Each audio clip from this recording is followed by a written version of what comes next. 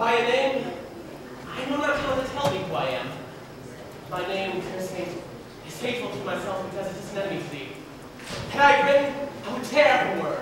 My ear has yet not drunk a hundred words of thy tongue's uttering, yet I know the sound. Art thou not Romeo and Montague? Neither, fair maid, if either thee dislike. How camest thou hither, tell me, wherefore?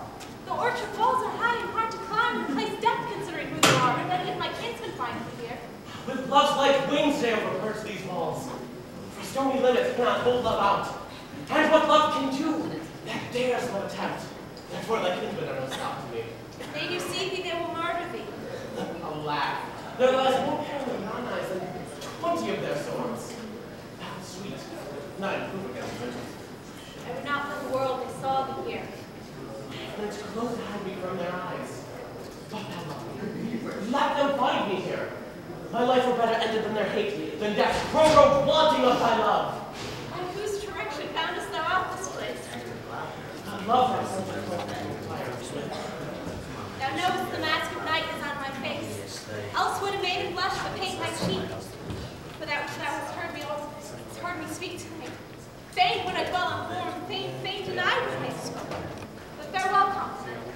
Dost thou love me? I know thou wilt say aye, and I will take thee at thy word. But if thou swearest, thou mayest prove false. Our lovers' perjuries, they say, will last. O gentle Romeo, if thou dost love, pronounce it faithfully. Or, if thou thinkest I am I'll frown and be perverse and say thee so thou wilt but else not for the world.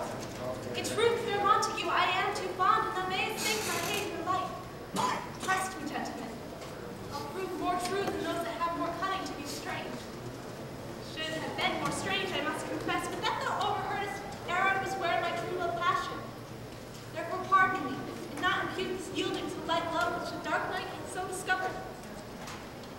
Lady, by yonder blessed moon I vow, that tips with silver all these fruit tree tops. Oh, swear not by the moon, the inconstant moon that monthly changes in her circle orb, lest thy love prove likewise variable. What shall I swear by then? Do not swear at all. Or, if thou wilt, swear by thy gracious son, which is the god of my idolatry. And I'll believe thee. Lady, my heart's dear love, Well, do not swear. Although I joy in thee, I have no joy of this contrast. It is too rash, too unadvised, too sudden, too like the lightning which doth cease to be ere one can say it lightning. Sweet good night. This bud of love, my summer's ripening breath, may prove to be a beauteous flower when next we meet. Good night, good night. As sweet repose and rest come to thy heart as that within my breast. I'll leave thee so unsatisfied. Satisfaction canst thou have?